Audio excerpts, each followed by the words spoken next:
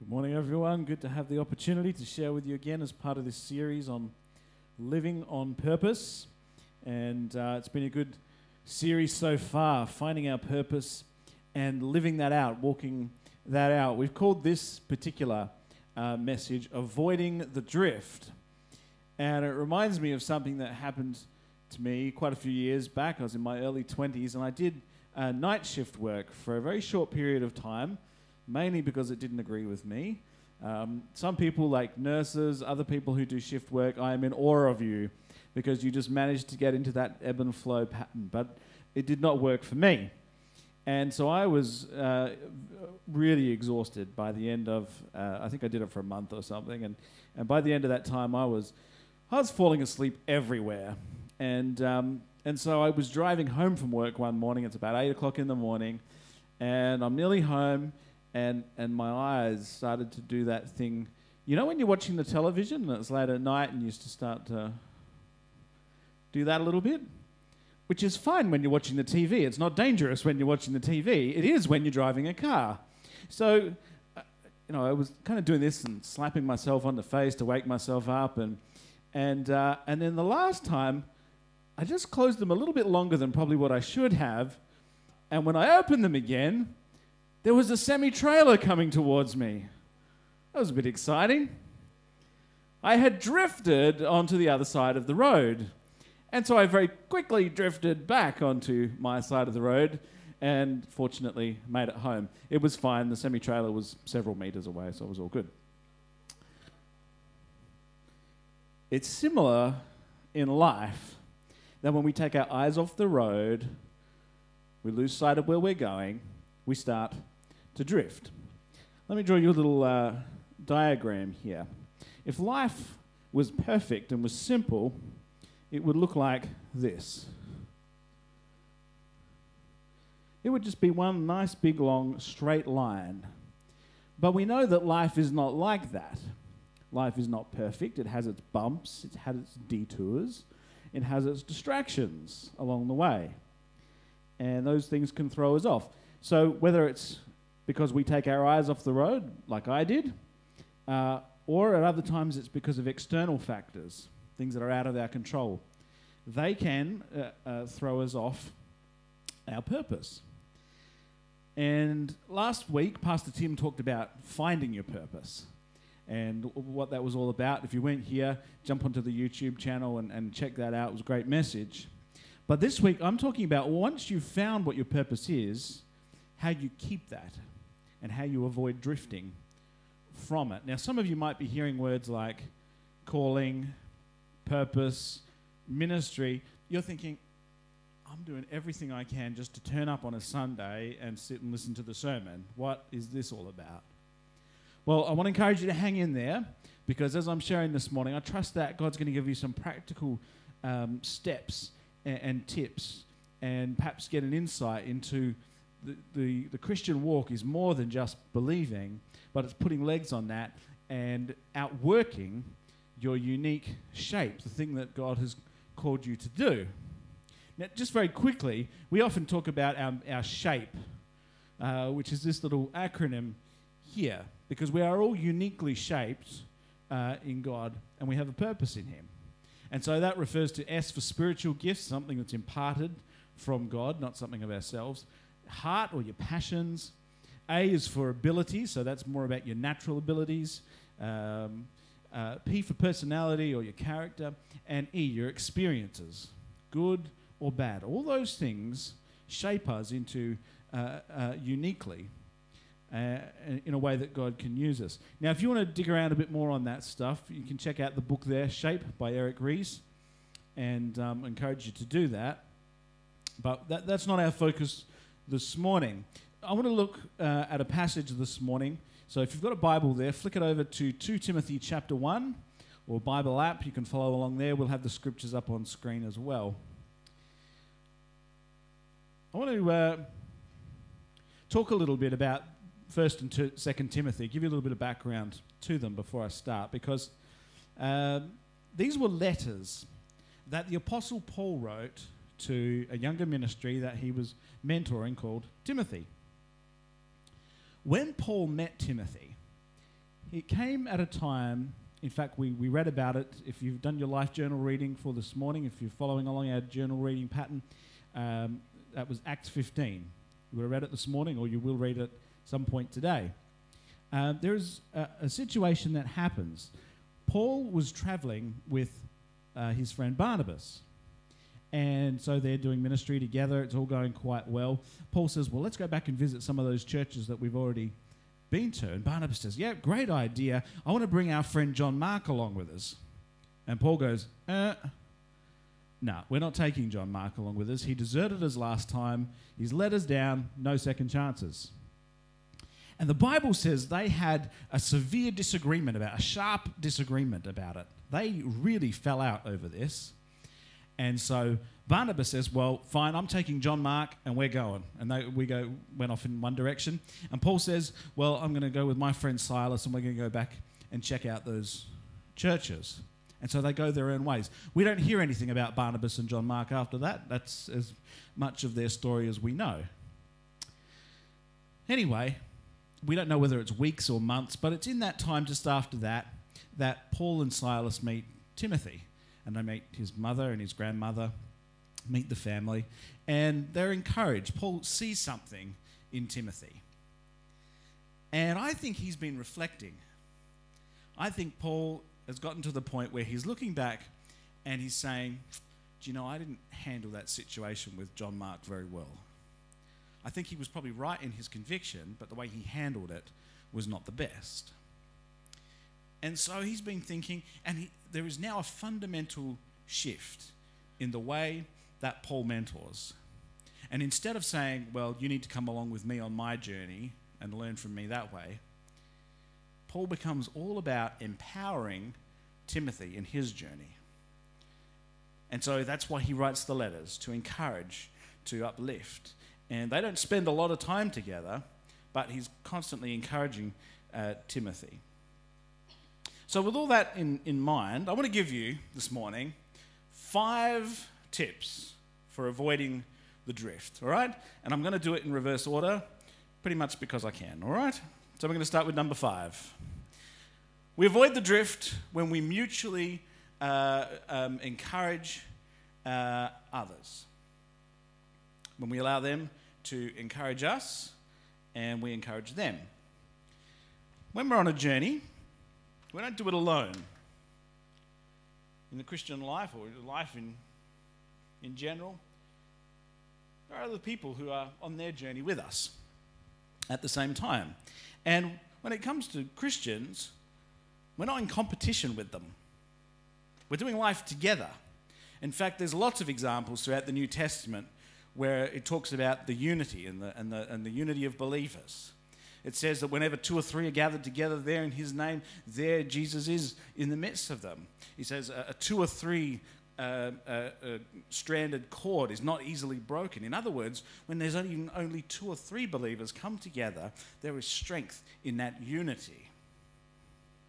The whole purpose of Paul's letters, as I said, was to encourage Timothy, but also to acknowledge that Timothy was an encouragement to Paul.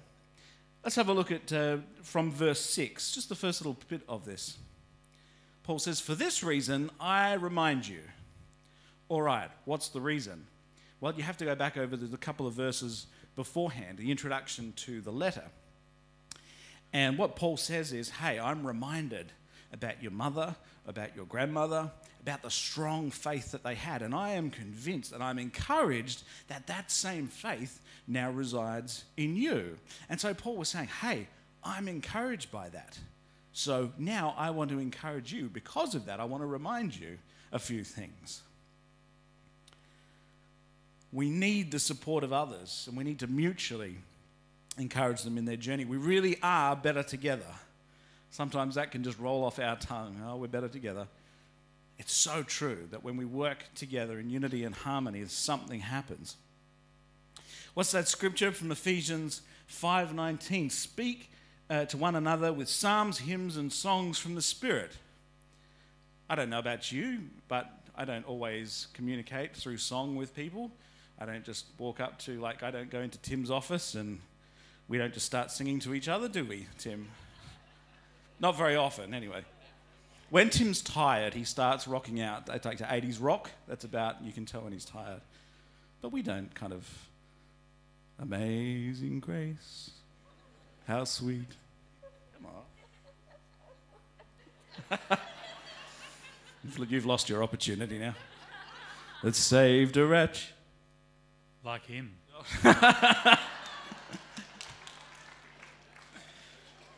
Thank goodness we don't communicate like that. Wouldn't that be weird if you just kind of, I can see the love in your eyes? It's creepy. I don't think the verse is talking about communicating through song. Life is not one big musical. What it is talking about is that when you have a revelation from God, when God's put something in your spirit, might be a, a, just uh, something you've read in the scriptures that day, something that you've observed, something that you've got from God. You know what? He says, talk about it with others, share in that experience. So if God gives you a revelation through, through a psalm, through something, if He's put something in your spirit, share it with each other so that you can be mutually built up and encouraged in that. Isn't that good? So I want to challenge you this week. Look for opportunities to have those God conversations parents with your kids, teachers, students, uh, employers with your employees. If, they, if you know uh, you're in relationship with Christians, encourage, build each other up. So important. We can't do it alone. All right. Number four, we avoid the drift by keeping passionate over passivity. This is a really big one. What happens when a car runs out of petrol? Anyone? It stops. Very good. It stops. And when we lose interest, we might be going along in our journey and everything seems to be going fine. It looks like we're doing okay. But things start to slow down a bit. We're not as excited about things. And very soon, we find ourselves off track. We're going through the motions, routine, but we forget why we're doing what we do. And so we start to drift. And at first, we don't even recognize it. Because the problem didn't happen up here, the problem happened back here. Don't wait till you're lukewarm to sort things out. When you start to run out of petrol, when you start to slow down, and you become dead in your tracks, it's really hard to regain that momentum. Don't wait till you're lukewarm. Look what it says in Revelations chapter 3. This was John writing to the churches, his revelation to the churches in the area at that time. And so this is God's word to those churches. He says, I know your deeds, that you're neither cold nor hot. So he's just saying, you're going through the motions, but there's nothing in it. You're doing the work, but, but there's no heart in it. I wish you were either one or the other. So, because you're lukewarm, neither hot nor cold, I'm going to spit you out of my mouth. Some translations say vomit you out of my mouth. Isn't that lovely and graphic? I'm going to spit you out of my mouth. How many of you have ever had a, a, glass of warm water, lukewarm water? It's revolting, isn't it? You take a sip and it's like, Bleh. you want to spit it out. That's what God feels like when we're just going through the motions. So if you stop caring, if you ho hum about things, you're just going through those motions, remember this. Look what Paul said to Timothy in verse 6, the rest of that verse. He said, Fan into flame the gift that you've been given. Keep it red hot. Be passionate about it. You have a gift. God has shaped you uniquely. Everything that you've been through to this point, God has shaped you uniquely. And He wants to see you use that, and He wants to see you passionate about using your gifts. Um, when it says, you know, fan into flame, have you ever been to a camp? You've seen a campfire and people are sitting around and, and it starts to die down a little bit. What do you do? You don't just say, oh, well, the fire's gone out, so let's all go home. No, you stoke it back up again, don't you? You get in there and you make those little embers and you, you fan them back up into a flame. That's what God wants us to do. I remember a few years ago, I was visiting Pastor Ian Miller in our, uh, in our CRC church in Sydney. Ian was here uh, at, at, this church for many years before that, and uh, I got to church just after the services started, so I didn't see Ian. He was already on the platform. And so the first time he saw me was when he was up there, and he goes, Oh, hi, Nathan, good to have you here. And he starts telling the church who I was from his old church. And, and he says, You know, when Nathan was young, he used to come into my office and he used to say, Miller, what are you preaching on this week? And without fail, Ian would usually say something Jesus y, which was really helpful. And I'd say, No, no, no, give me more detail than that. So then he'd tell me what he was preaching on, and I'd say, Okay, give me a bit of time, and I'd go away. And I would write a, a song, and I'd come back and say, Oh, look, I've written this song, what do you reckon? He goes, Yeah, great. And we'd do it as an item or, or a chorus that, that week. And so Ian is telling his congregation this. And I'm sitting there thinking, I'd forgotten all about that. I really used to love doing that. Maybe, maybe, I should do that again. So I'm thinking this. Anyway, Ian's gone on with his message in this time. And he starts off with Revelations 2 4, which says, Yet I hold this against you. You have forgotten or forsaken your first love. Go back and do the things you did at first. I'm sitting there going, Wow, God, what are you trying to say to me? I don't remember anything else that Ian preached uh, that day, but it reminded me, you know, where things have gone a little bit lukewarm, come back, stoke them up. And I did that. We came back and wrote some uh, songs for different things, a stewardship campaign, and, and things like that, because it was a gift that God had given to me, and I want to use it for His glory. We don't need to be afraid of getting off track with these things and messing things up either. What does it say? Uh, in verse 7 God has not given us a spirit of fear. Some translations say fear or timidity or cowardice. We don't have to be afraid. I was reading an article just a couple of weeks ago that uh, was saying they've done a study over the last few years. And in the last five years, there's been a severe increase of cases of anxiety and depression in teenagers because they have the fear of missing out on what their friends are doing on social media if they're not engaged with that. Severe by 50% or something. It's, it's huge. There is this fear of missing out or not being connected with, with their friends on the virtual uh, world, whether it's Facebook, Twitter, Instagram, whatever it is. And it's crippling. They're afraid that they won't be in on the jokes if they're not checking their, their uh, social media feeds. We don't have to be afraid. We don't have to live in fear. God has not given us a spirit of fear, but what does it say? A spirit of power, love, and of self discipline. When you walk in His strength, in His power with Jesus, you don't have to be worried about doing it in your own strength. We walk in Jesus' strength. This is the way you stay passionate.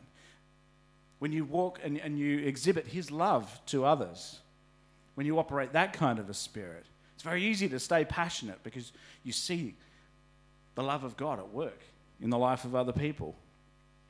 And by operating that spirit of self discipline, staying on track. So I'm not going to go drifting off here. I'm going to make sure I do the things I used to love to do, stirring up that passion. I'm going to stay on track. Some of you might be feeling that way this morning that you feel flat. You might feel empty, passive about your relationship with God. Stir up that gift. Remember what it was like when you first met Jesus. Stir that up. Be passionate about it. Because no one else can do it for you. You need some time to get renewed and refreshed. What happens when the, the car runs out of petrol? It stops. We've got to keep our petrol tank on full, yeah? Keep topped up and that will keep us on track. All right, number three. We avoid the drift by keeping on track in times of adversity. So, this says we might be going along, everything's going all pretty good, and all of a sudden, wow, something happens and it throws us right off track. It's not our fault. We weren't expecting it. It just happens. Life gets in the way. So maybe it's a relationship issue, somebody's let you down. Maybe it's a loss of significant material possessions, car, house. Maybe it's losing your job. Maybe it's been the death of a loved one. Maybe it's your, your own health issues that you might be facing, or world events. We already heard about what's happened in, in Paris in the last couple of days. And that can throw us right off track when it's unexpected. You kind of go, God, what is going on here? I don't understand this.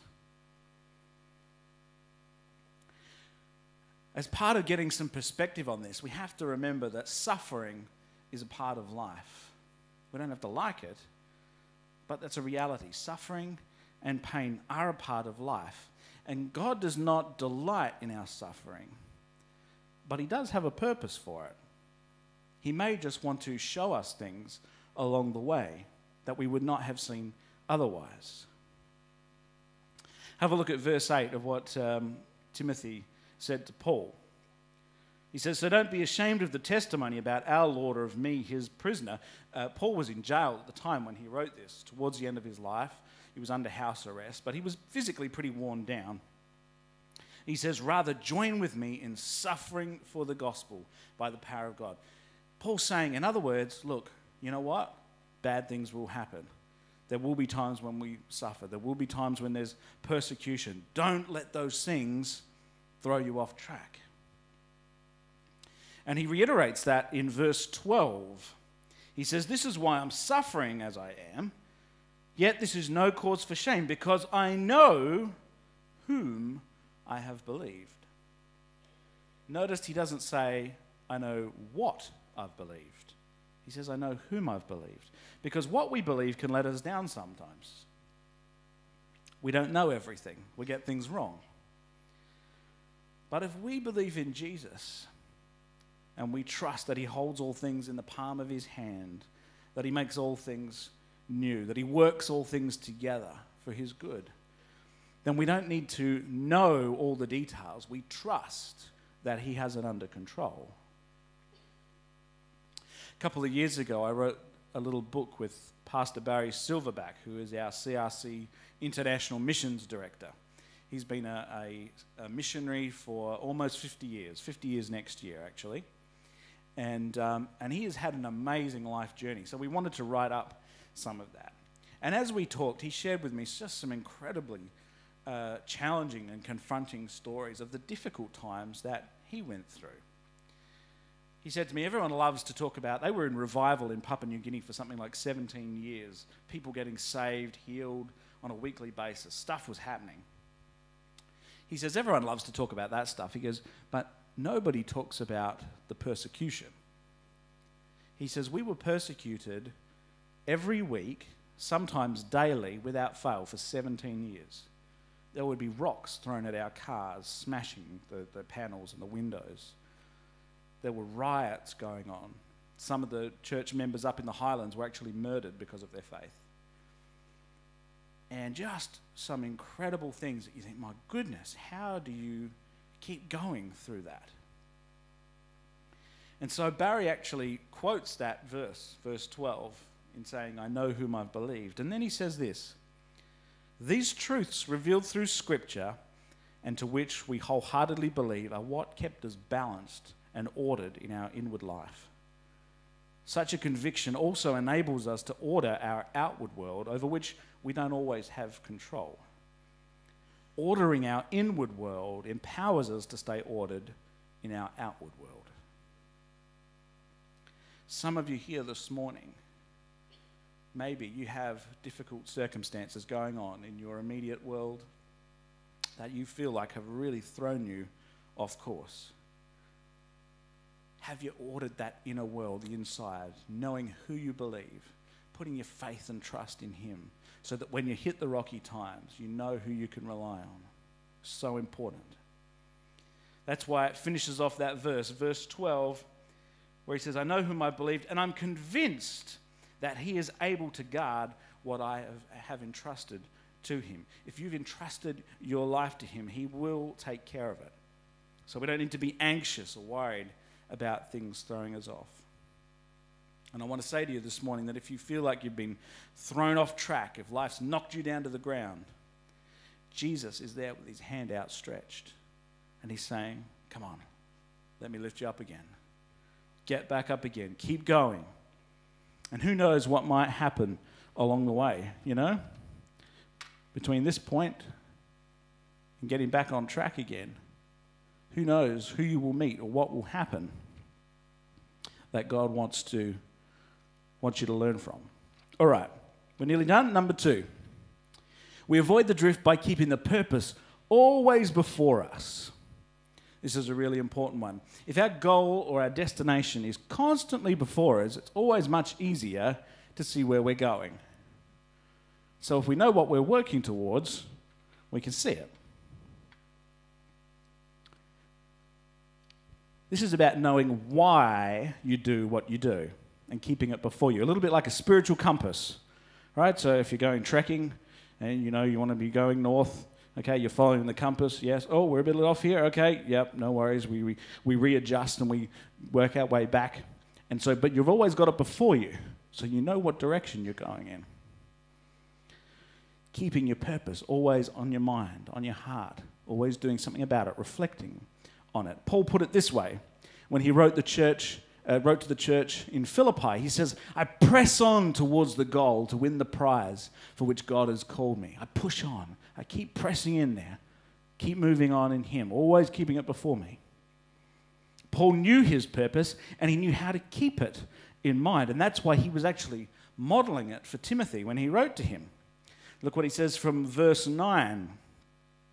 He says, He, being Jesus, Jesus has saved us and called us to a holy life. Paul was well aware that he was not called to just keep on living in sin and doing things the way that he'd always done it.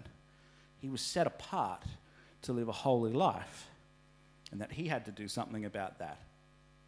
So God does a work in us, He enables us, He strengthens us, but He had to be faithful and obedient to that. Not because of anything we've done, but because of His own purpose and grace. So Paul says, Hey, I put my own desires, my own purposes to one side, and I'm now honing in on that, which is so much better. The purpose for which God created me and called me to. But it's now been revealed through the appearing of our Savior, Christ Jesus, who's destroyed death and he's brought life and immortality to light through the gospel. And of this gospel, so the gospel message that God loved the world so much that he gave his only Son to come and live and die a terrible death so that we could be forgiven, also that we could be reconciled to the Father. This gospel, I was appointed a herald and an apostle and a teacher. He lists them off. Boom, boom, boom. Why? Because Paul was well reflected on what his calling was, what he was called to do. So he was a herald. He was there to literally speak out the gospel and to, to share it, to make a noise and let people know about it.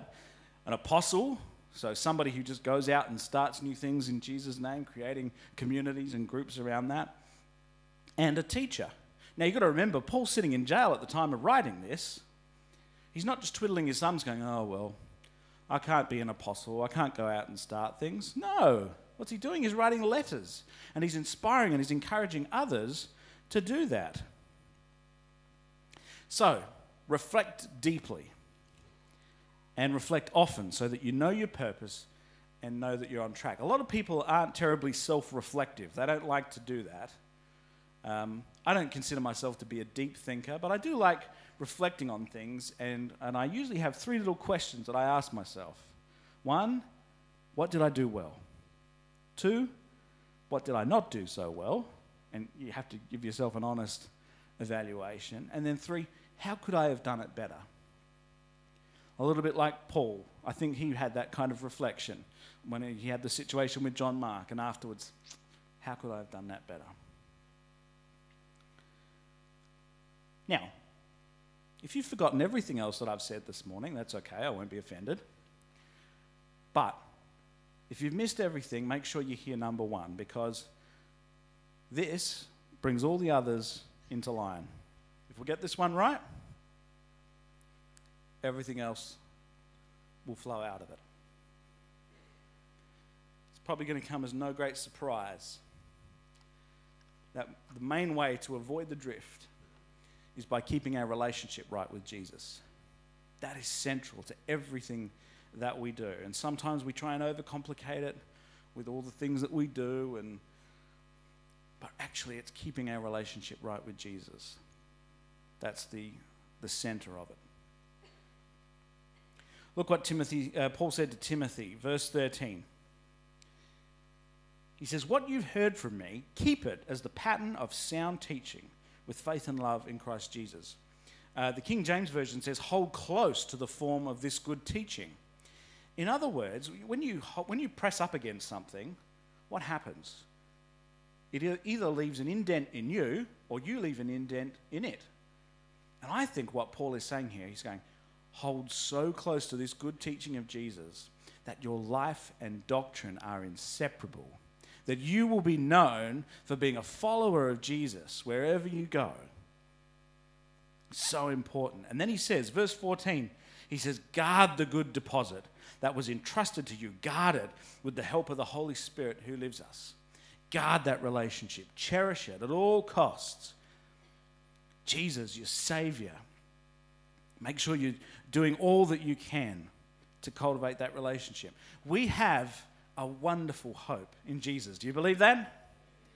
Hope is what will renew our strength. Look at what the, the prophet Isaiah said. This was some 700 years before Jesus was even around. It's still true for us today. Those who hope in the Lord will renew their strength. They will soar on wings like eagles. They will run and not grow weary. They will walk and will not faint. Is that good news this morning? If your journey is becoming a challenge or a struggle or a fight, whether you feel like you've drifted of your own accord or whether you've been thrown off by the circumstances around you. It doesn't have to be that way. God wants you to soar. He wants you to be able to run. He wants you to be able to do this journey for the long haul. Amen?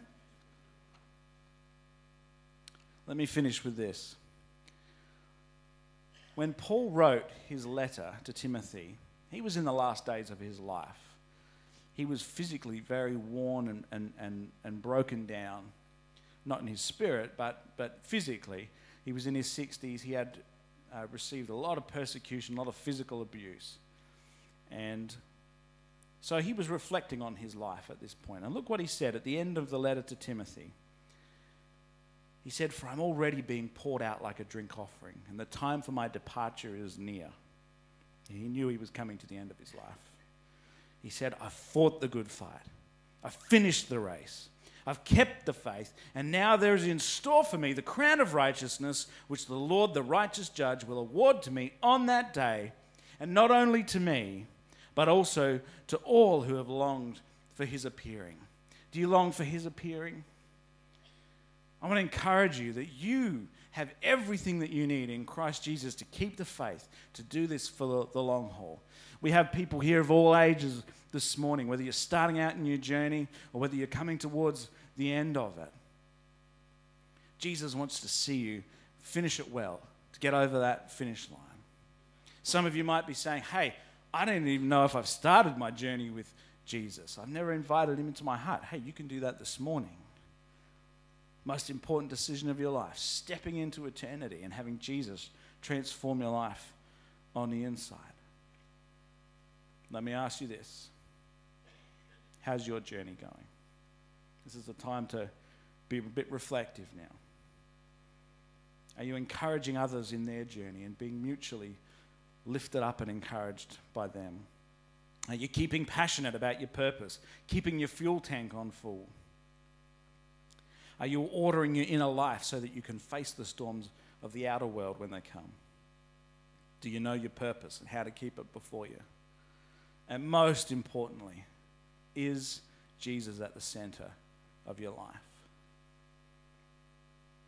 Jesus being at the center of our world, that our every thought, our every motive, our every decision flows out of our relationship with Him.